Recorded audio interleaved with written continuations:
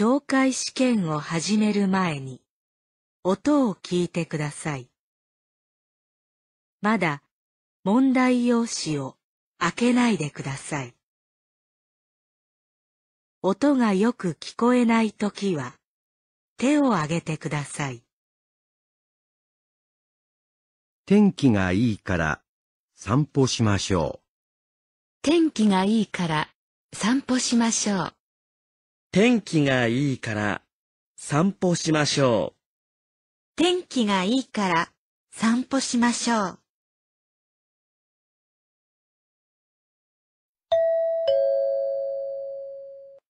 日本語能力試験紹介 N3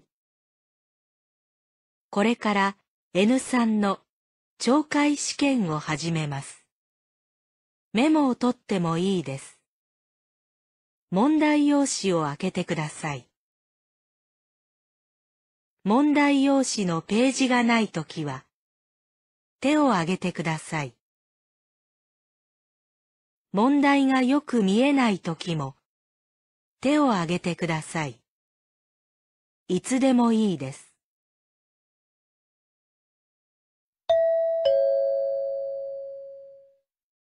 問題1問題1では、まず、質問を聞いてください。それから、話を聞いて、問題用紙の1から4の中から、最も良いものを一つ選んでください。では、始めます。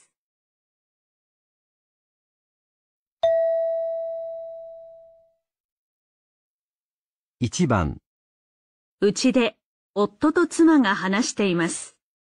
妻は何を買いに行きますか？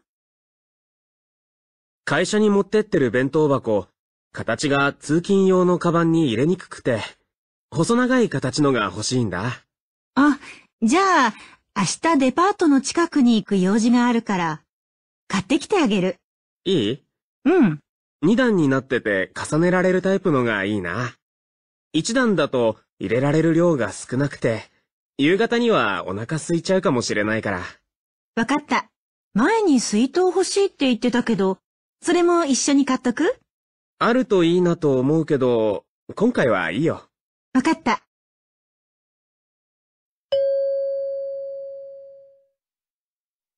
妻は何を買いに行きますか？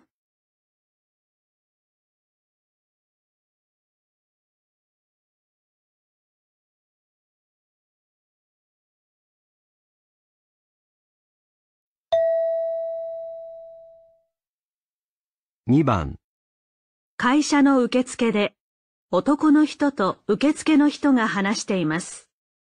男の人はどこで山本部長を待ちますか？あの、桜工業の森田と申しますが、営業の山本部長いらっしゃいますか？今日は工場の見学と会議で伺いました。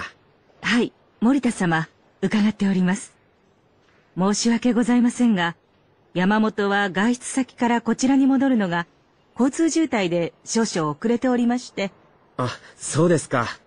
では、ロビーでお待ちします。あ、いえ。ロビーの奥に応接室がございまして、本日の会議の資料とお茶をご用意しておりますので、そちらで。山本が到着しましたら、すぐに工場の方にご案内しますので。あ、はい。よろしくお願いします。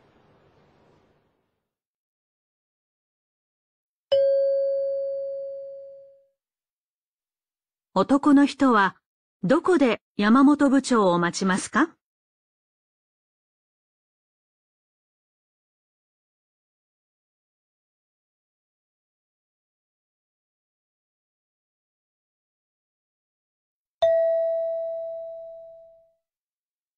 ？3番大学の研究室で先生と女の学生が話しています。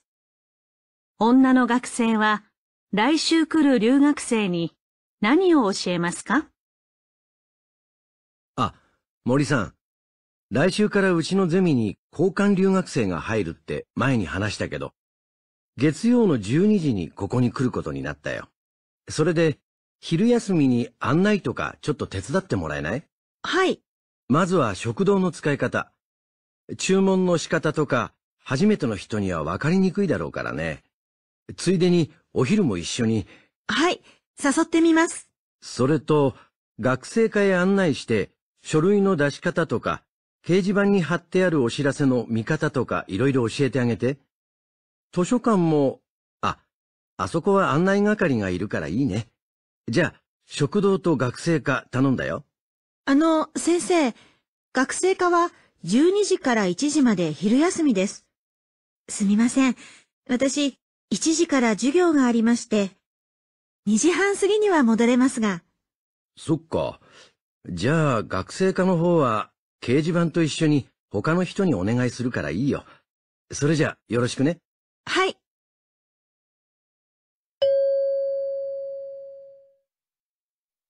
女の学生は来週来る留学生に何を教えますか？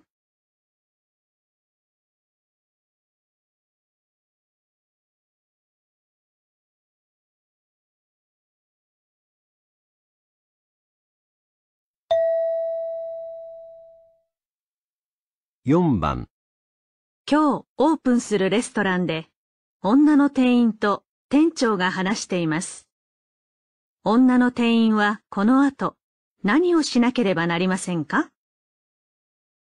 店長、開店まで1時間ありますが、もう外で待ってらっしゃるお客様がいます。もう？立ったまま待っていただくのは申し訳ないから、椅子を外に並べて。それから、今日暑いから待ってる方に冷たいお茶をお出しして。はい。あの、椅子はもうお出しして座っていただいています。そう、ありがと女性のお客様が多いみたいです。う。じゃあ、サラダの注文が多いかもしれないね。野菜多めに準備したんだけど、足りなくなりそうだったら早めに行ってね。電話で注文して届けてもらうから。わかりました。じゃあ、さっき言ったこと頼んだよ。ちょっと銀行で両替してくる。お釣り用の小銭、多めに用意しといた方が良さそうだからね。はい。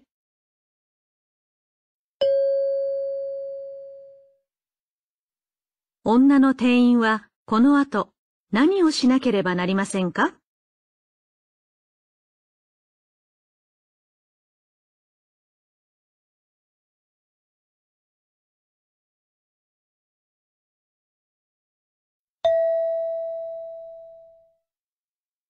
5番、学校のダンス部で男の学生と女の先輩が話しています。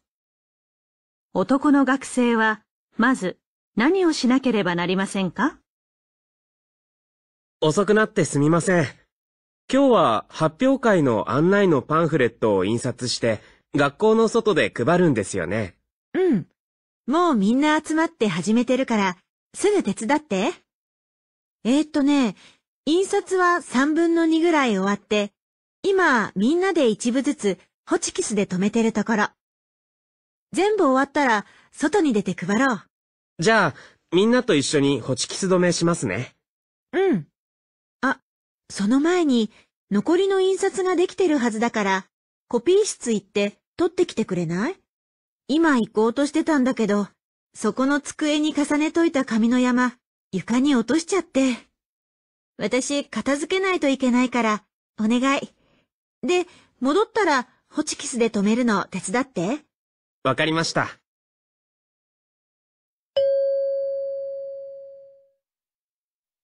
男の学生はまず何をしなければなりませんか？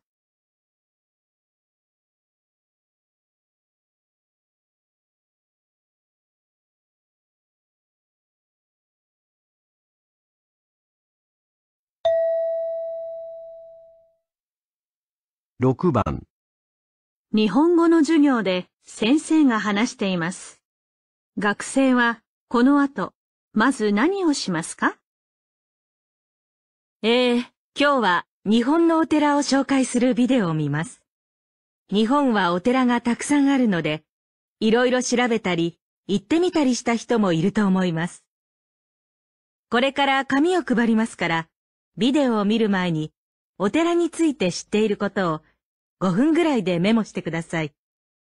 続いて、ビデオを見て、その後で最初にメモしたこと、ビデオを見て新しく発見したことについて、隣の人と話し合いましょう。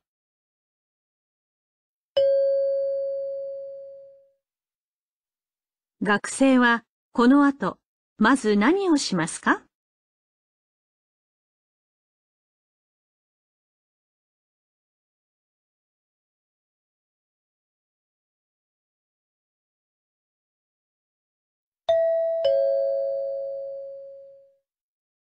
問題2問題2では、まず、質問を聞いてください。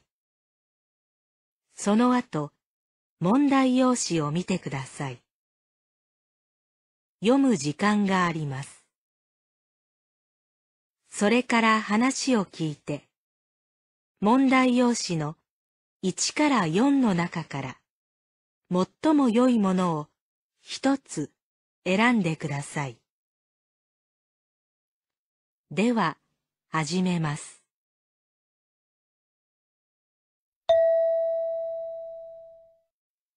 1番大学で女の学生と男の留学生が話しています。男の留学生は今、東京の生活でどんなことに困っていると言っていますか？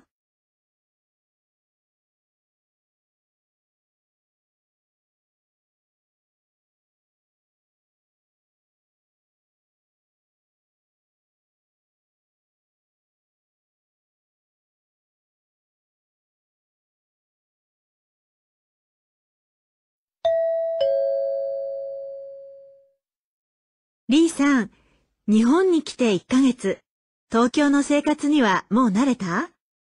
大体のことはね。来たばかりの頃は人が多くて落ち着かなかったけど、国では田舎に住んでたから。東京はどこ行っても混んでるからね。うん。それはもう慣れたけど、電車が多くて乗り換えが複雑だからよく間違えて。その度に誰か近くにいる人に聞いて教えてもらうんだ。それで約束の時間に遅れたことが何度も。リーさんは日本語ができるからいいけど、日本語がよくわからない人だったら本当に困るだろうね。うん。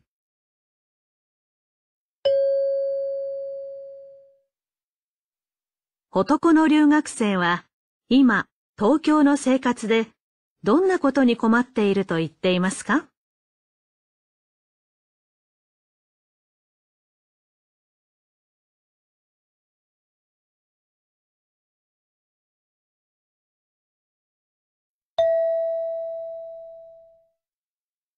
2番中学生のサッカーの試合の後で、先生が選手たちに話しています。先生は試合で特に何がよくできていたと言っていますか？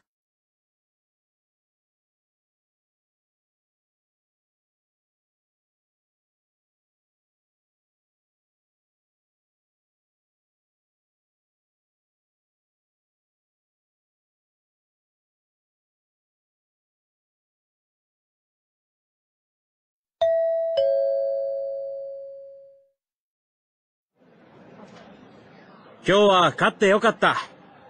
みんな試合中、互いに声を積極的にかけてたね。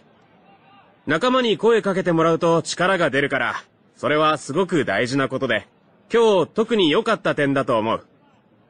それから、今日は2点取られた。もっとボールをよく見て守ろう。それに、ボールをもらってからどうしようか考える時間が長くて、ボールを出す前に取られることが多かった。ボールをもらったらすぐ動くように。次の試合までによく練習しよう。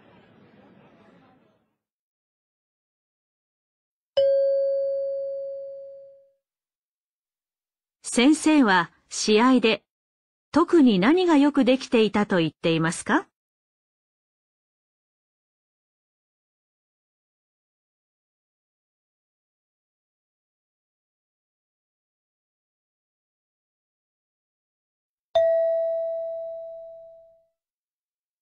3番ラジオで男の人と女の人が話しています。雑誌のアンケートで中山ホテルが一番に選ばれた理由は何ですか？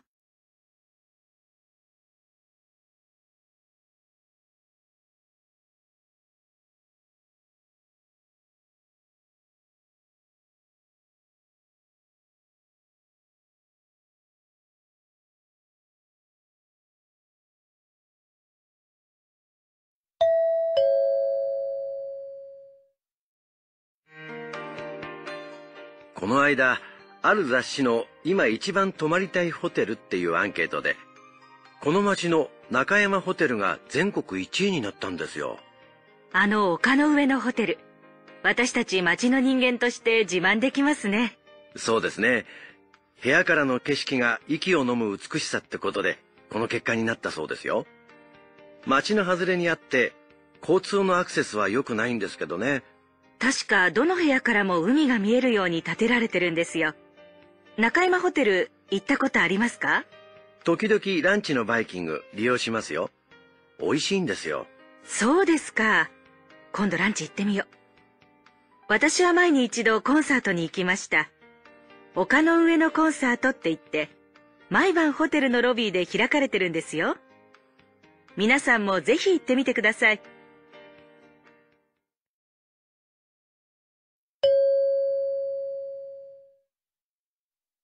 雑誌のアンケートで中山ホテルが一番に選ばれた理由は何ですか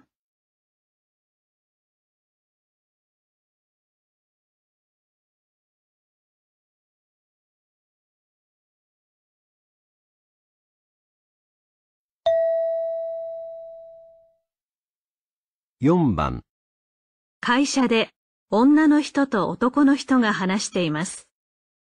男の人がゴルフを始めた理由は何ですか？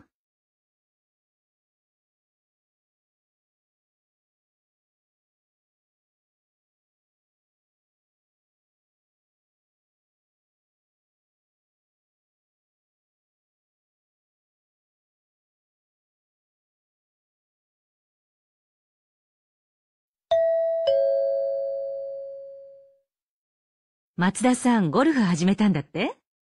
うん、半年前から。前に食堂のテレビでゴルフの試合見て、何が面白いのか全然わからないって言ってたでしょ？うん、確かにそう思ってた。それに、友達に何度誘われてもやりたいとは思わなかったし。ところがね、テレビ番組のクイズに応募したら、ゴルフ用品セットが当たって。本当は他のものが欲しかったんだけどね。そう。使わないともったいないからやることにしたんだ。ゴルフって結構歩くんだよ。やってみて自分がこれまでどんなに運動不足だったか分かった。それに意外と楽しいね。そう。始めてよかったね。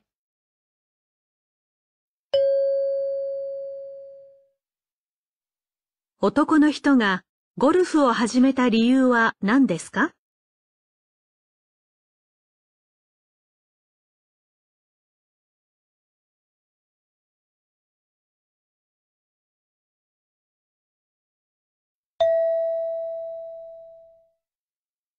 5番話し方教室で先生が話しています。先生はスピーチをするとき、どんな方法で緊張しなくなったと言っていますか？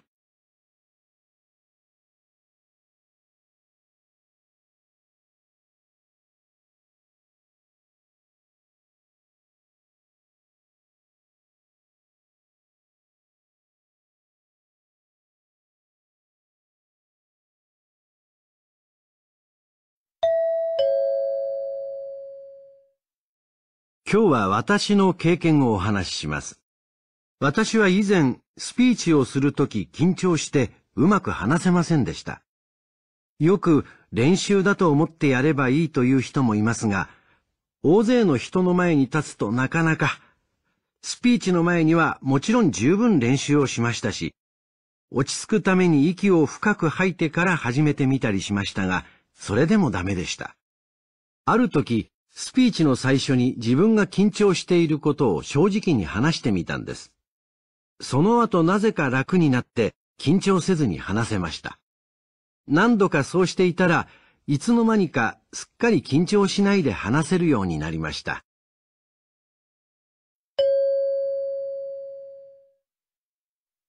先生はスピーチをするとき、どんな方法で緊張しなくなったと言っていますか？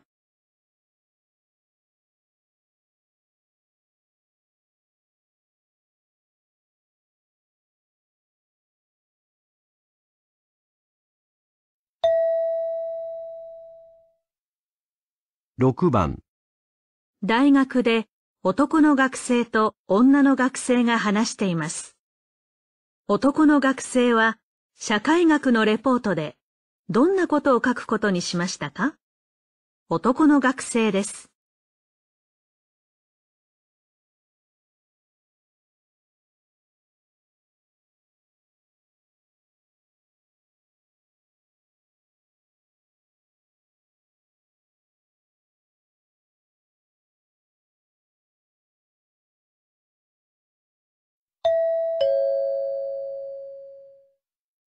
ねえ、社会学のレポート、テーマは自由ってことだけど、こういう時いつもどうやってテーマ決めてる？そうだな。復習のために授業の時よくわからなかったことを調べて書いたり、他には授業を聞いて自分が初めて知ったことをまとめたり。そっか。よくわからなかったところをやるっていう考えは僕にはなかったな。僕もそれやってみていい？ちょうど復習したいところもあったし。もちろん。今までは授業で特に面白かったことをテーマにしてたんだけど、興味あることって書きやすいからね。でも、いつも同じ感じなのもつまんないなと思って。私は今回は社会学のテキストの中で先生が授業で扱わなかったところを自分で調べて書こうと思ってるんだ。資料を集めたりして。そっか、すごいね。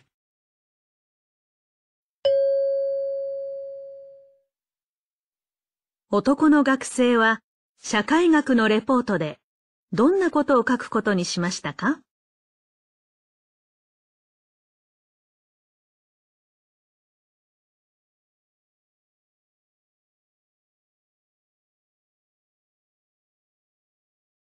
ここでちょっと休みましょう。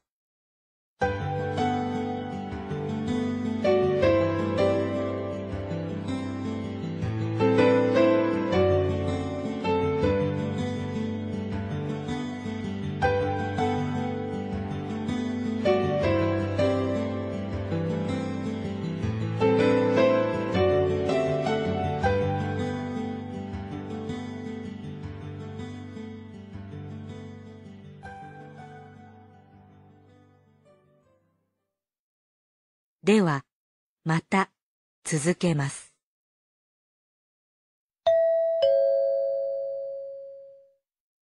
問題3問題3では、問題用紙に何も印刷されていません。この問題は、全体としてどんな内容かを聞く問題です。話の前に質問はありません。まず話を聞いてください。それから質問と選択肢を聞いて、1から4の中から最も良いものを一つ選んでください。では、始めます。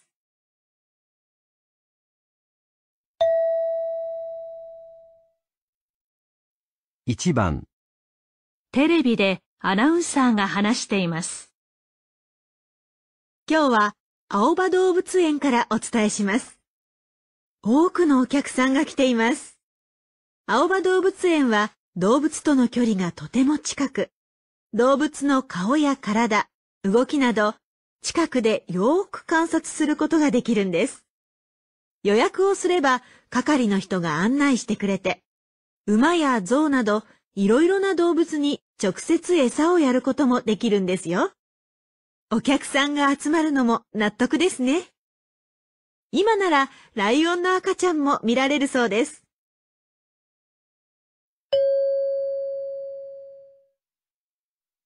アナウンサーは何について話していますか？1、動物園のお客さんの様子。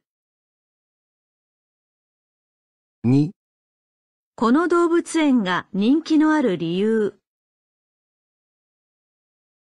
3、動物の可愛らしさ。4、今、特に人気のある動物。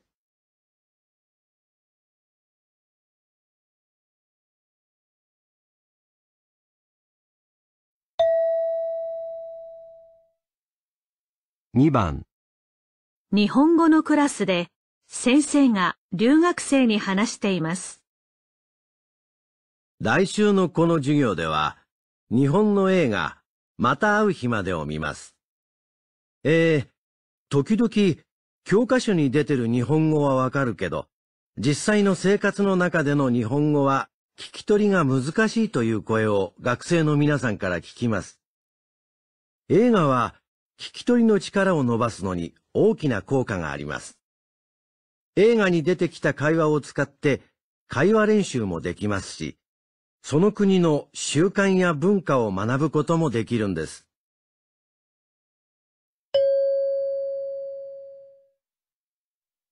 先生は何について話していますか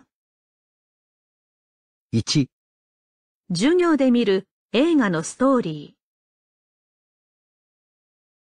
2、ー、日本映画の特徴、3、映画に出てくる日本の習慣、4、授業で映画を使う目的、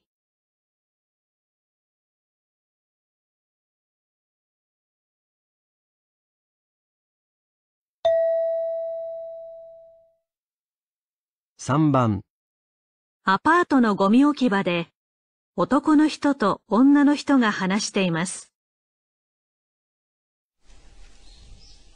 山田さん、おはようございます。あれ？山田さん、出すゴミ少ないですね。僕はコンビニのお弁当の容器とかパンの袋とかすぐ溜まっちゃって。私も前はよく飲み物買ってて、ペットボトルとか缶のゴミが結構あったんです。でも、買わないでお茶とか自分で作るようにしたら、ずいぶん減らせたんですよ。ああ、僕も料理すればお弁当の容器とかゴミで出すこともなくなるんですよね。料理するなら、野菜もよーく洗って、皮も一緒に料理すれば、もっとゴミ少なくできますよ。なるほど。僕も頑張ってみよう。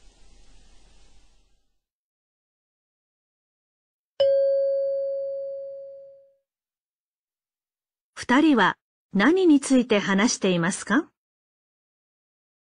？1、ゴミを減らす工夫、2、ゴミの種類の多さ、3、ゴミを出す時のルール、4、ゴミのリサイクル方法。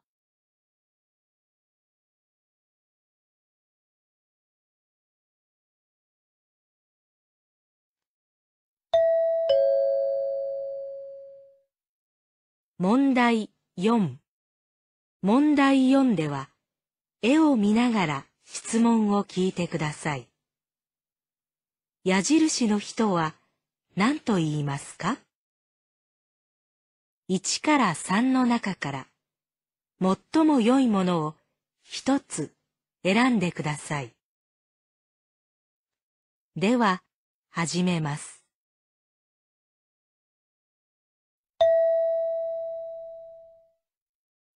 1番、自分たちの写真を撮ってほしいです。近くにいる人に何と言いますか？1、あの、写真を撮ってもよろしいでしょうか？2、あの、写真を撮っていただけませんか？3、あの、写真をお撮りしましょうか？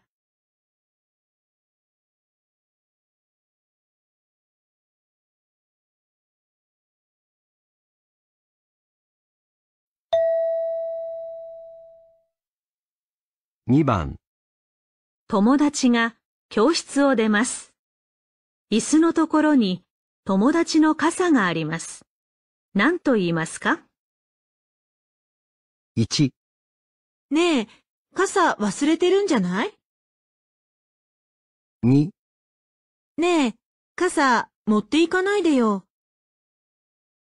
3、ねえ、傘置いておかない？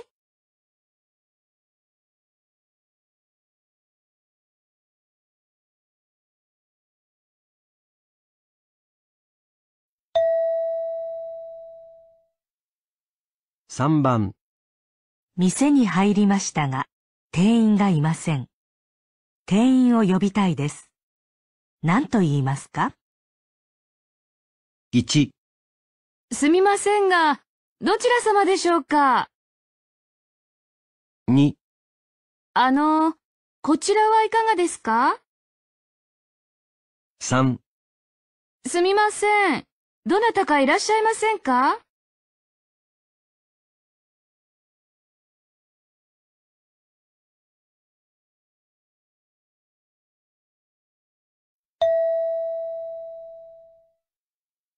4番、会議が終わりました。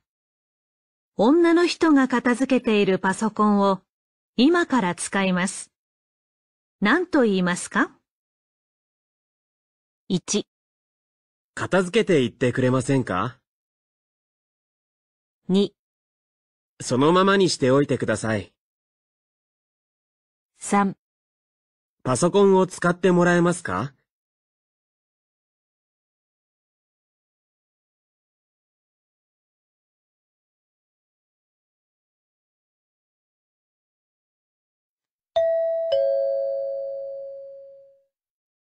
問題5。問題5では、問題用紙に何も印刷されていません。まず、文を聞いてください。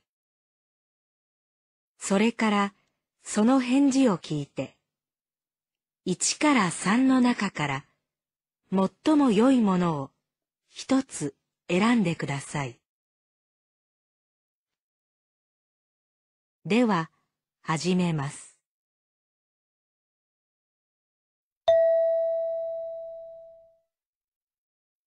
1番、喉カラカラなんだけど、お茶かなんか持ってない？1、お茶はダメなの？2、なくてもいいよ。3、水ならあるけど。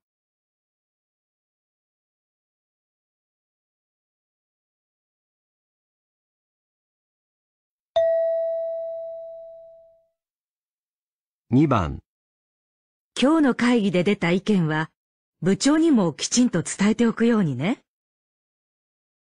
1、部長が伝えてくださるんですか？2、どうぞよろしくお願いします。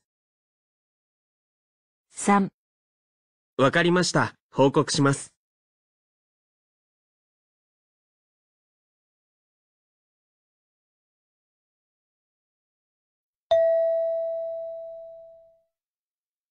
3番、お客様、雨が降っておりますので、タクシーをお呼びいたしましょうか。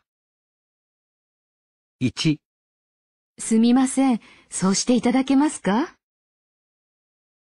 ？2、あの、私は呼んでおりませんが、3、頼んでくださったんですか？ありがとう。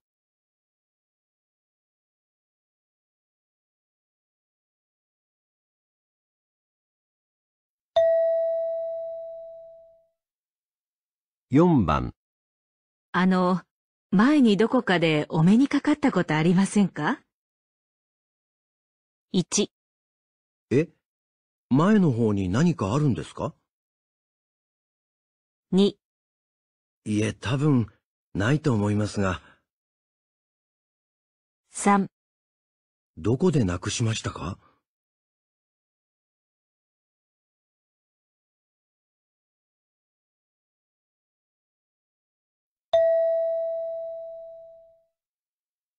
5番、スーパー行くけど何か買ってこようか？1、じゃあ、アイスクリーム頼むよ。2、ついでに牛乳買ってくるよ。3悪いけど、今は行けないよ。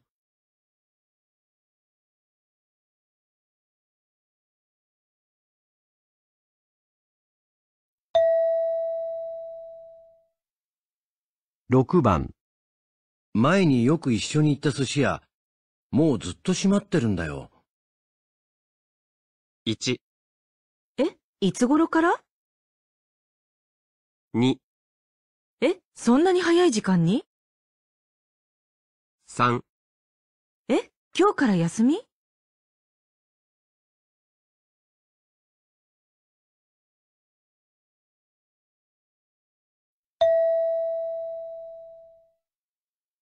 7番。おととい資料をメールで送ったんだけど、届いてる？1、え、僕、メール送ってないよ。2、ごめん、受け取ったのに返事しなくて。3いいよ、届けてあげるよ。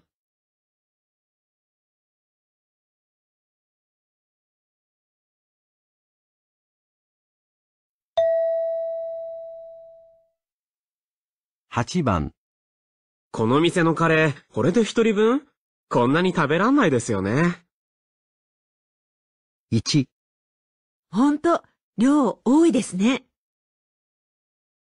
2、ちょっと足りないですよね。3、じゃあ、一人で食べますか？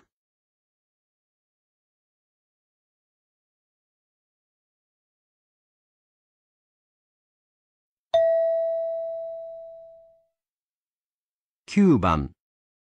昨日はせっかくボーリングに誘ってくれたのに、行けなくて悪かったね。1、うん、それは残念だね。2、ううん、気にしないで。3本当にごめん。